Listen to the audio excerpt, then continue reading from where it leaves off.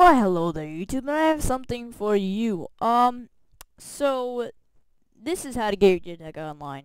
It's really easy and you know someone released these files. I'm pretty sure it was Sparky's Nation, but I got the download from Xbox 360 Dev. There'll be a link to his video in the description for more proof.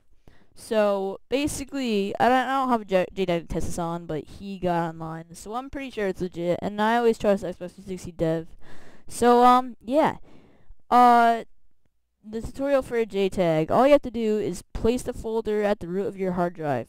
Using dash launch, set xelive by bypass.xex as a plugin. Restart your JTAG or RGH. Test connection to Xbox Live.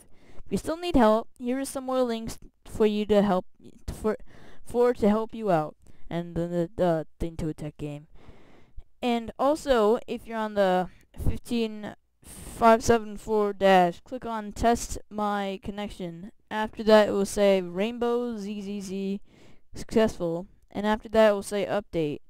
Do it. It's only for avatars if you're on the 15574 and then sign into an off online profile and you're online. Enjoy.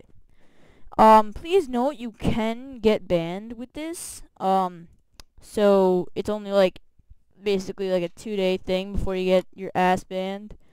But um, yeah, it's pretty cool because you can make money off of it, and um, yeah, it's really amazing. And uh, oh, Dwack cracked it, so that's cool. Um, yeah. Just looking through all the files here. If I, like, if I don't patch it by the time I get my JTAG, I will definitely use this. So yeah, it all seems legit. I've all, I loaded files on my J, on my old JTAG before that broke. And it seems like the same thing. So yeah, hope you guys enjoyed this, and uh, download link will be in the description as and as well as the link to Xbox 360 Dev's um channel, I mean, uh, video. I do not take any credit for this, and I hope you guys have a good day. Bye.